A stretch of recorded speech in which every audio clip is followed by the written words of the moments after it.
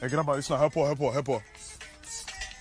Grabbar, jag måste säga jag har dåliga nyheter. Va? De som får stanna i landet, det är bara de som heter Peter.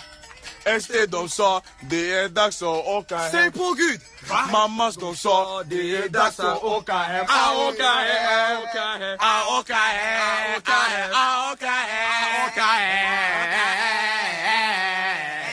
SD de sa, det är dags att åka Åka hem. SD de sa, det är dags att åka hem.